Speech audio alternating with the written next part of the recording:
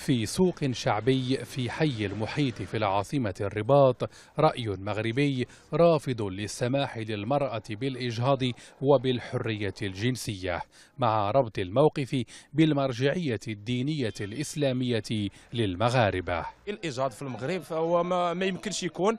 حنا آه، واحد المجتمع اللي هو مسلم اللي عندنا ديانة اللي حنا ضد هذا الشيء كاع نهائيا سواء الجنس ولا سواء حتى الإجهاض. بالنسبة للمرأة المرأة كتبقى واحد حاجة مقدسة. أنا ما تنشجعش المرأة دير هادشي يعني حنا دولة إسلامية وهذوك إلا كنتبعوا الشريعة هادشي حرام في الدين يعني ما متفقش معاه.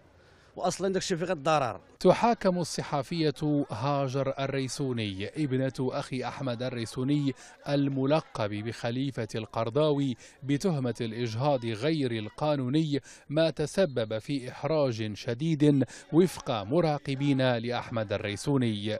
فيما يطالب صحفيون مغاربة في قضية هاجر الريسوني باحترام الحياة الخاصة للصحفيين. لا نقول أن الصحفي فوق القانون ولكن نقول اليوم على أن المقتضيات القانونية التي تتابع بها زميلتنا الملزمون نحن الصحفيون بالتضامن معها والتآزر معها المقتضيات القانونية تناقض المواثيق الدولية وتتدخل في حياتها الشخصية التي لا لا حق لأي كان على أنه يتدخل فيها. الإشكال متعلق بمسألة متعلقة بالحريات الفردية. من المرتقب أن يناقش البرلمان في الدورة الخريفية انطلاقا من شهر أكتوبر المقبل تعديلات في القانون الجنائي المغربي تشمل الإجهاض فيما يبقى تقنين الإجهاض أو الإبقاء على منعه قانونيا حسب متابعين تحديا مطروحا على البرلمانيين المغاربة. عادل الزبيري العربية الرباط.